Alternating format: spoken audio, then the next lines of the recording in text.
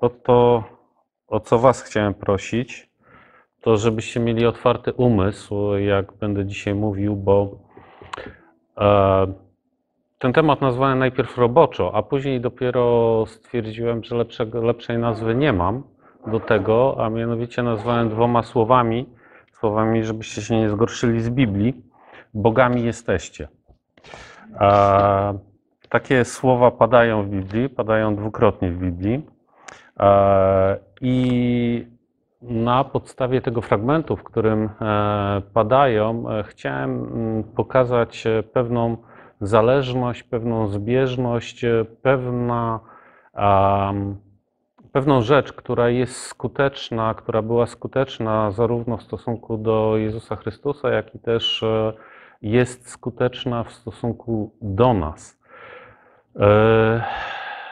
Nie będzie to na pewno kazanie na temat e, jakichś e, założeń New Age, bo New Age, e, jak wiecie, bardzo ogólnie, że tak powiem, określając ten nurt, bo wiele rzeczy w tym się chowa, bierze rzeczy biblijne i przeinacza w sposób taki, żeby pasowało do tej nauki i wywyższa człowieka. Nie będzie to też opowieść o.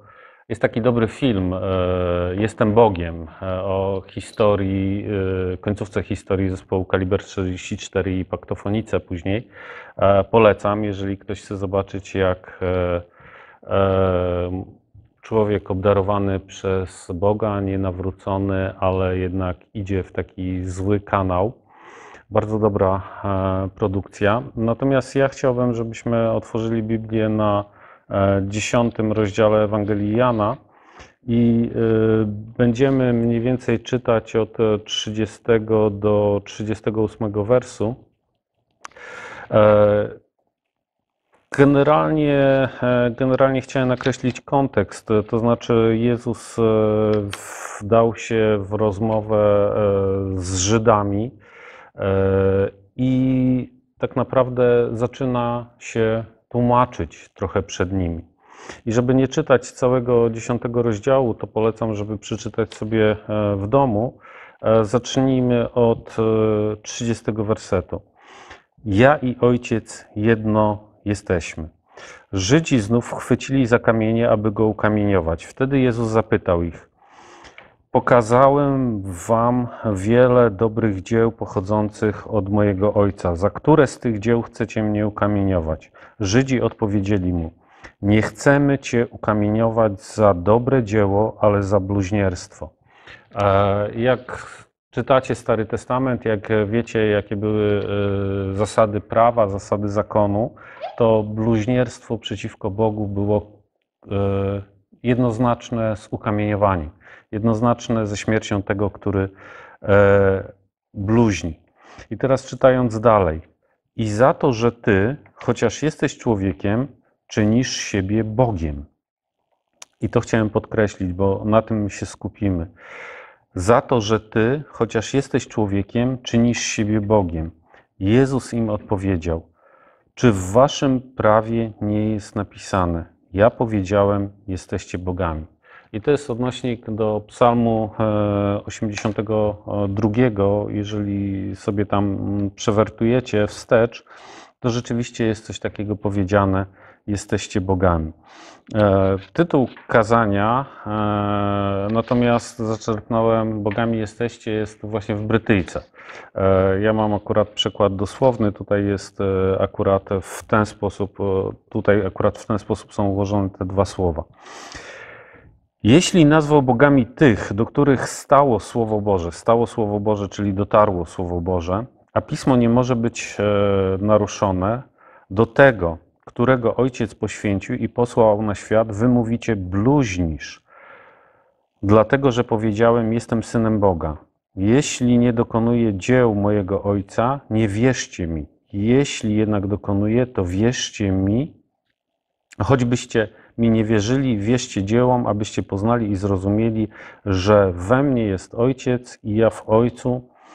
No i starali się go złapać, ale on im się wymsknął, e, odszedł, e, nie ukamieniowali go wtedy.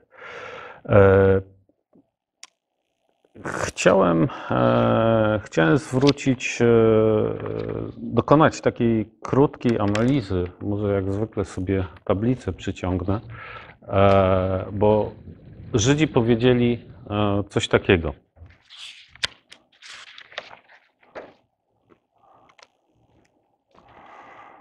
Chociaż ty jesteś człowiekiem, czynisz siebie Bogiem.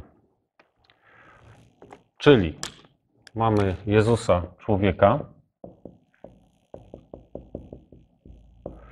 i Jezusa, Boga. I teraz chciałbym, żebyście mieli otwarty umysł i żebyśmy sobie przeanalizowali, co Żydzi wiedzieli o Jezusie mniej więcej do 30 roku życia, e, jego, e, jego mm, jakby to powiedzieć, przymioty, historie, to, co generalnie Żydzi wiedzieli o Jezusie Chrystusie, synu Marii, domniemanym synu Józefa. I dlaczego akurat Żydzi postrzegali go jako człowieka i mówili, że czynisz siebie Bogiem. I co czyniło Jezusa Bogiem? A w związku z tym, e, jak, e, jak e, weźmiemy sobie historię człowieczeństwa Jezusa, czyli Jezusa jako człowieka, to możemy sobie wypunktować mniej więcej kilka, kilkanaście faktów do 30 roku życia Jezusa, a pamiętacie, że Jezus rozpoczął swoją działalność mniej więcej od 30 roku. Czyli do 30 roku też Biblia bardzo mało na ten temat e, mówi. Wspomina o kilku e, faktach, na które być może Żydzi się powoływali i Jezus dla nich był człowiekiem, był kimś takim, którego znali 30 lat i który przez te 30 lat tak naprawdę nie przejawiał żadnych cech Boga, Syna Bożego, na, który, na które, na które, na które, że tak powiem, e, tak jak zaczął siebie e, tytułować. Dlatego nie dziwię się w pewnym sensie Żydom, że znając Jezusa od takiego małego, dostali w pewnym momencie kręćka, no bo co? Jesteś z kimś, znasz takiego człowieka 5, 10, 15 lat i później Jarek mówi, jestem Synem Bożym. No i tak patrzymy na Jarka, no Jarka znam. No ale ci ludzie znali Jezusa od takiego małego. Ci ludzie wiedzieli. I teraz skupmy się e, na faktach. Czyli Jezus był kimś, kto był zrodzony normalnie, urodzony przez kobietę, przez Marię. Według nich mm, wychował się w rodzinie. E, Maria miała męża e, Józefa. E, Biblia wspomina, że Jezus też miał braci i siostry. Mamy takie normalne rzeczy, które wiązały się z zapewnieniem bezpieczeństwa tej rodzinie, czyli Jezus był pierworodny, musieli uciekać do Egiptu z powodu Heroda. Musieli później wrócić z tego Egiptu. Jezus urodził się w Betlejem, ale osiedlili się e, w Galilei. E, Jezus e, pielgrzymował z rodzicami co roku do świątyni na święto Paschy, gdyż to był to obowiązek religijnego Żyda. I Mamy taki ciekawy przy, przy, przy tej okazji ciekawą historię, jak w wieku 12 lat zgubił się swoim własnym rodzicom w tej świątyni. Jeżeli sobie e, później zerkniecie na e, trzeci rozdział Ewangelii mm, Łukasza, jest mowa o E, Jezusie, który się zgubił rodzicom, który tak naprawdę się nie zgubił tym rodzicom, tylko siedział od trzech dni w świątyni. Oni go szukali gdzieś tam wśród podróżnych, wśród pielgrzymów, wśród znajomych rodziny. Jest napisane tak, że znaleźli go w świątyni, siedzącego pośród nauczycieli, słuchającego ich i pytającego ich. Wszyscy zaś, którzy go słuchali, byli zdumieni Jego rozumem i Jego odpowiedziami. No i oczywiście rodzice mieli pretensje do niego, że on tutaj został. I Jezus odpowiada coś takiego: Czy nie wiecie, że w tym, co jest mego Ojca, ja być muszę? I dalej ten cały rozdział jest podsumowany takim stwierdzeniem: Jezus zaś czynił postępy w mądrości, w dojrzewaniu, w łasce u Boga i u ludzi. I mamy ciągle człowieka, który jest człowiekiem mądrym, na tyle mądrym, że inni zdumiewają się tą mądrością. E, ma pewien zasób wiedzy, ma pewien e, rozum, ale jest to podkreślone, że mimo iż e, zdumiewali się starsi ludzie od niego, jego mądrością i, i rozumem, to jednak Jezus czynił postępy Czyli musiał dojrzewać do pewnych spraw, dochodzić do pewnych spraw. Na pewno w wieku 12 lat był ugruntowany w swoim powołaniu i w swojej e, tożsamości, gdyż jeżeli powiedział, że no, czemu mnie szukaliście, wiadomo, że muszę być tam, co jest e, własnością mojego ojca, czyli miał świadomość powołania, miał świadomość e, celu życia. W przeciwieństwie można powiedzieć do wielu chrześcijan, którzy będąc chrześcijanami lata, ciągle skupiają się na tym, żeby e, ciągle nie dochodzą do tego punktu, że po coś Bóg ich powołał tutaj na tej ziemi, ciągle nie są świadomi, jakie jest ich powołanie i ciągle nie wiedzą, do czego mają w swoim życiu chrześcijańskim dążyć i jakie obdarowania Bóg im dał. A tutaj mamy dwunastoletniego Jezusa, który jest zupełnie świadomy tego, po co jest i dlaczego jest i Mm. i po co pojawił się na tym świecie. I teraz zobaczcie, tutaj też e, w tym fragmencie jest tak naprawdę ostatnia wzmianka o Ojcu, tym ziemskim, Jezusa, czyli o Józefie, bo później, jeżeli pójdziemy dalej, historycznie patrząc na następne lata, to już nigdzie tam Józef nie występuje i tak naprawdę nie wiemy, co z tym Józefem się e, stało. Możemy tylko domniewać, możemy opierać się na tradycjach jakichś żydowskich, ale biblijnie nie jest to powiedziane i ugruntowane. E, dobra. To do 30 roku życia, jakie były mniej więcej kilka cech, wymieniłem, jakie były e, cechami człowieczymi, jeżeli chodzi o Jezusa Chrystusa. A, zapomniałem, że stołki wyrabiał bo mówią, że był cieśl, to znaczy mówią, w Biblii jest napisane, że był synem cieśli, a w związku z tym ciesielstwo to jest, dzisiaj ciesielstwo to jest trochę inne ciesielstwo niż e, wtedy. Można powiedzieć, że bardziej wtedy to było mm, stolarstwo, czyli wyrób takich e, przedmiotów e, e, codziennego użytku, jeżeli chodzi o drewno, bo po Józefie Jezus odziedziczył najprawdopodobniej ten zawód. Ale teraz e, zacznijmy się zastanawiać, e, co było takiego boskiego do 30 e, roku życia Jezusa. Czy przy samonarodzenie Jezusa Chrystusa, które stało się bez udziału mężczyzny, czy było czymś boskim? Niewątpliwie było boskim. Słucham? poczęcie. E, czy, e, czy to, co się działo wokół urodzenia Jezusa Chrystusa, e, miało jakieś znamiona boskości?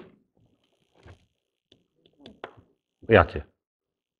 No, przecież został zapowiedziany przez całą przez armię archaniołów. Mhm. Zgadza się, aniołowie poszli do pasterzy i przyprowadzili tych pasterzy. Pojawiła się gwiazda, która pokazywała kierunek trzem mędrcom, którzy przybyli ze wschodu. Notabene mówi się, że to są ci ludzie, którzy byli e, potomkami tych magów, o których e, w księdze Daniela jest, jest mowa.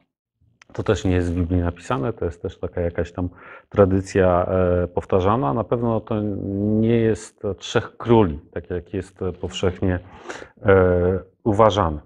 Co jeszcze mamy boskiego e, w, w pierwszych dniach życia Jezusa? No Jezus został normalnie obrzezany. Jezus Słucham? Tak, ale to było prawo boskie, które było nadane, prawo zakonne. No, zgadza się, można tu, tu i tu e, to e, przyjąć. E, Na pewno boska była świadomość powołania Jezusa Chrystusa i to już idziemy dalej. No proszę nie przeszkadzać. E, e, Na pewno ci, tak jeszcze tylko wracając do tego, na pewno ci, którzy przybyli, oddali mu hołd jako królowi. E, I teraz Jezus, syn Marii, nie miał, nie miał cech króla jako takiego, mimo iż z rodu królewskiego Dawida pochodził i mimo iż było obiecane, że zasiądzie na e, tronie mm, Dawidowym. I teraz, e, mm, I teraz chciałem zwrócić uwagę na e, taką rzecz. Jeżeli mam być szczery, jeżeli znałbym kogoś 30 lat i ktoś by mi nagle wyskoczył, że jest Bogiem, na przykład ty, to bym też sobie pomyślał, no coś nie halo jest z tym człowiekiem.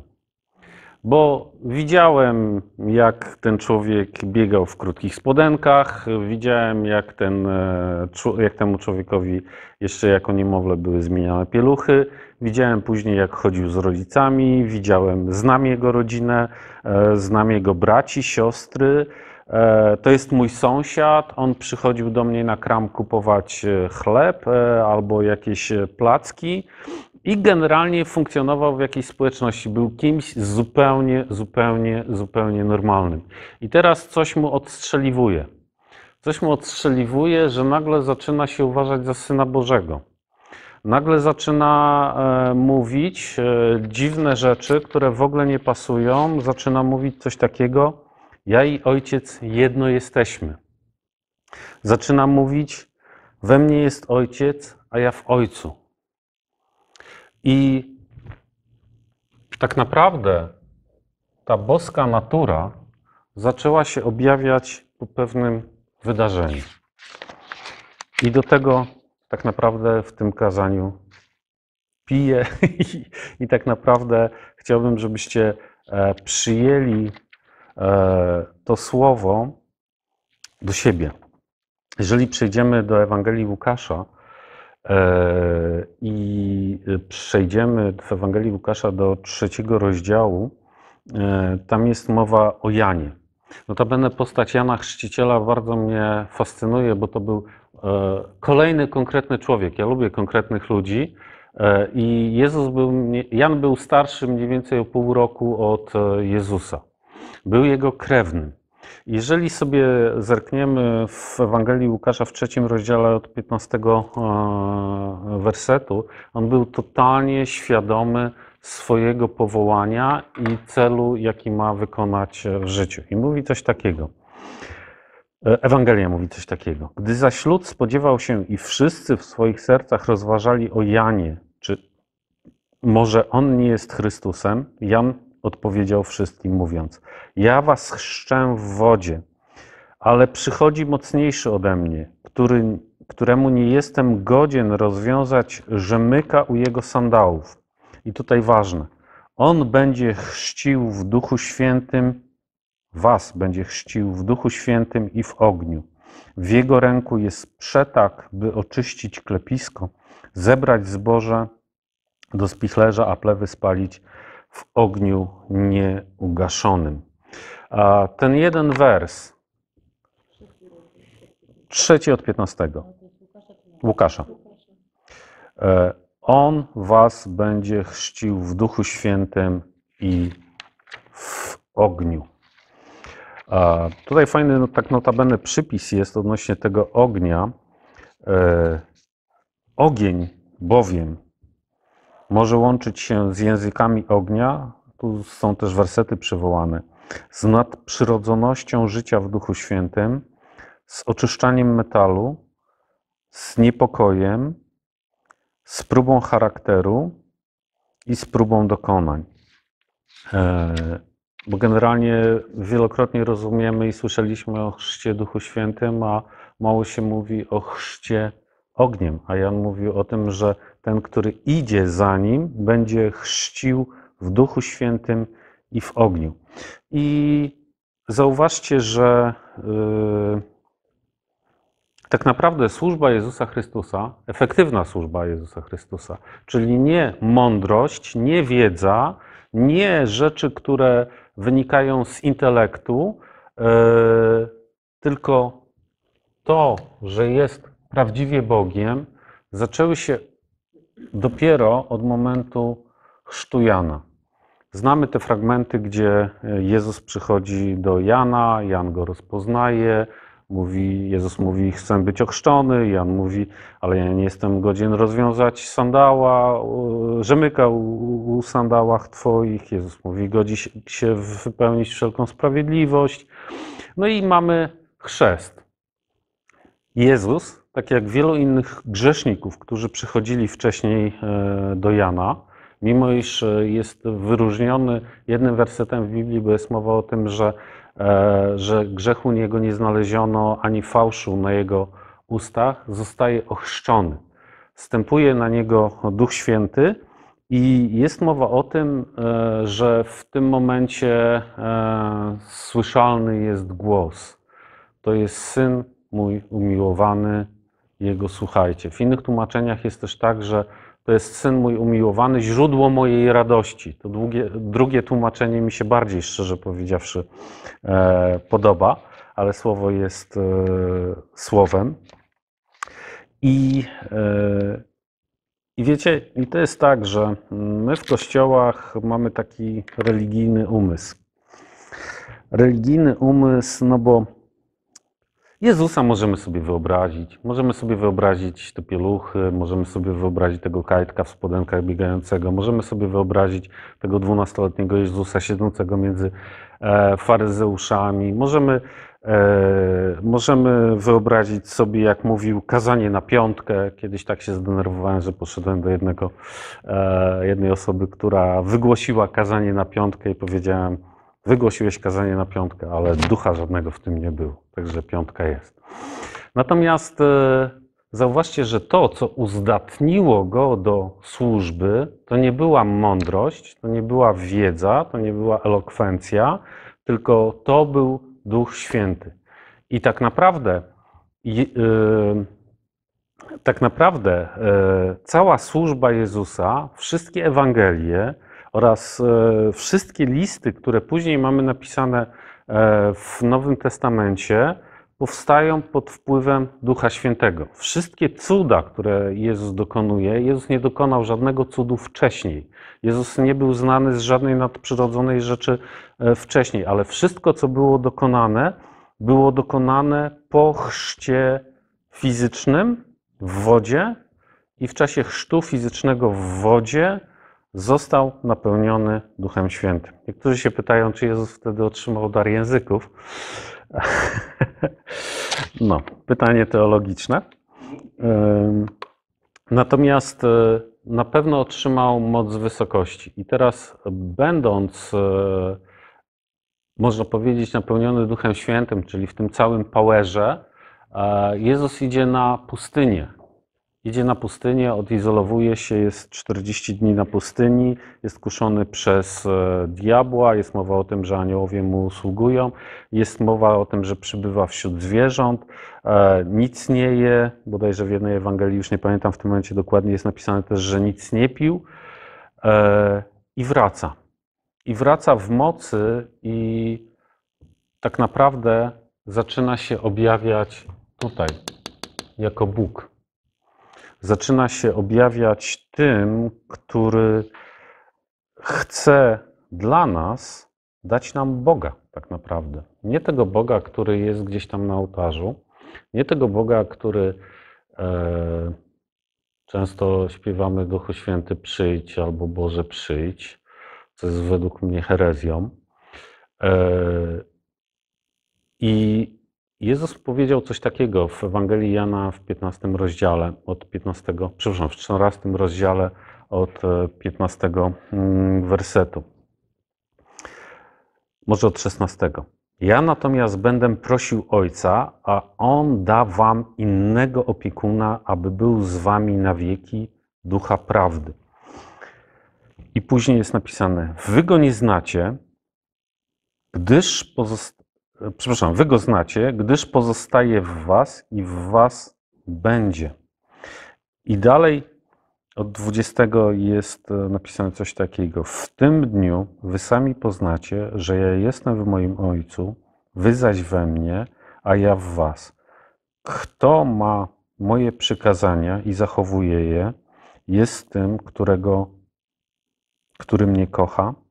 Ten zaś, który mnie kocha, będzie kochany przez Ojca mojego i ja będę go kochał i objawię mu samego siebie.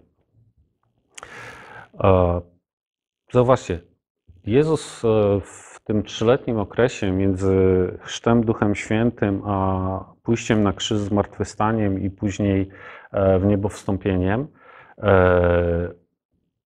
tak naprawdę pokazał nam pewne standardy, w których powinniśmy funkcjonować e, jako Kościół Nowego Przymierza. W momencie, kiedy e, podniósł chleb, podniósł wino, powiedział, że ustanawia nowe przymierze. Nowe przymierze zawsze było ustanawiane przy okazji spożywania e, posiłku.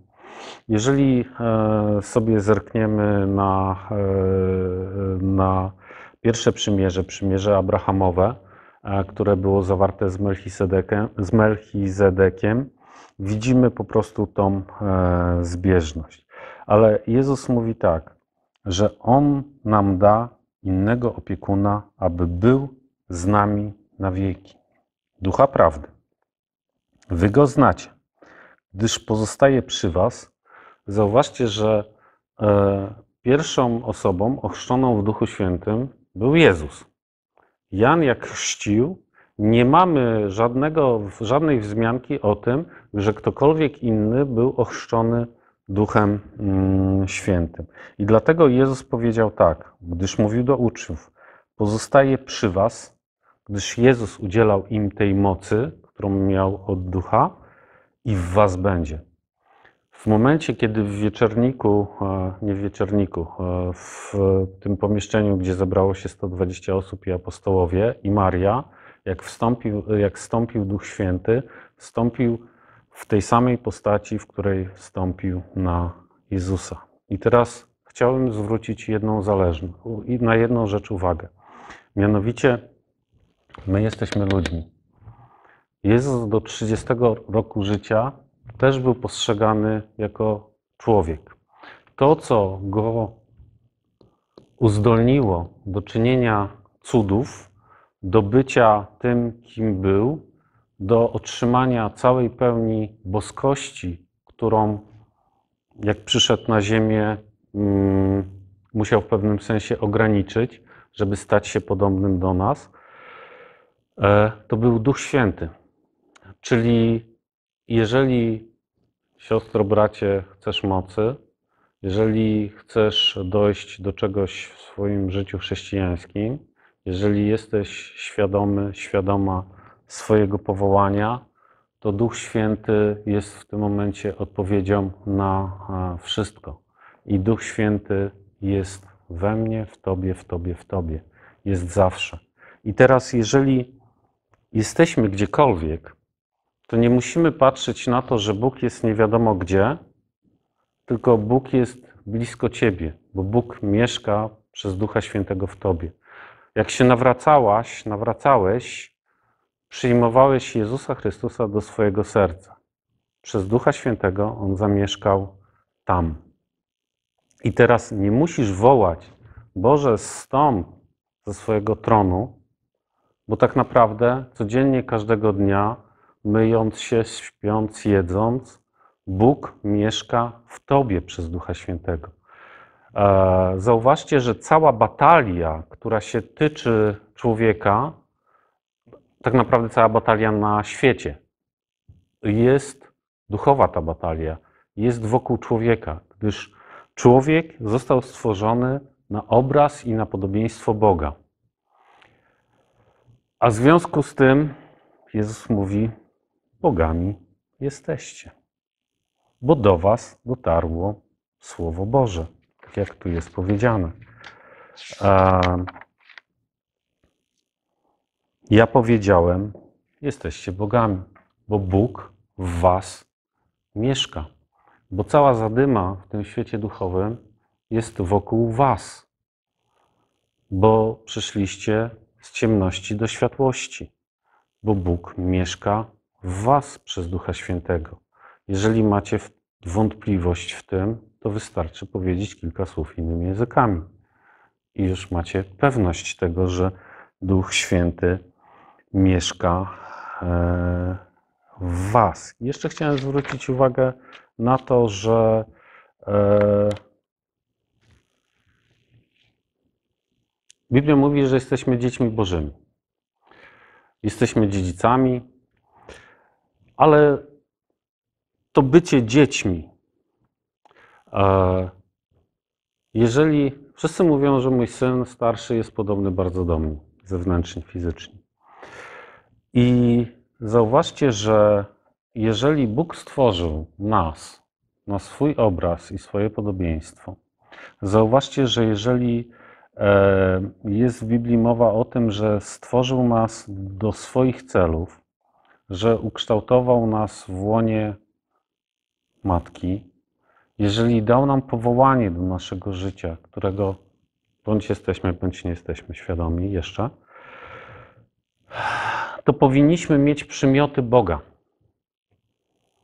Czyli jeżeli pozostajemy w rodzinie, jeżeli pozostajemy w rodzinie, to generalnie nasiąkamy tym, co jest w danej rodzinie.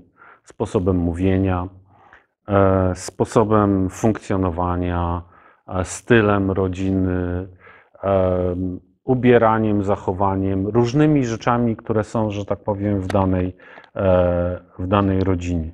Jeżeli jesteśmy dziećmi Bo- Boga, to powinniśmy nasiąkać Bożym stylem, Bożą kulturą, Bożą elokwencją, Bożym, Bożą mocą.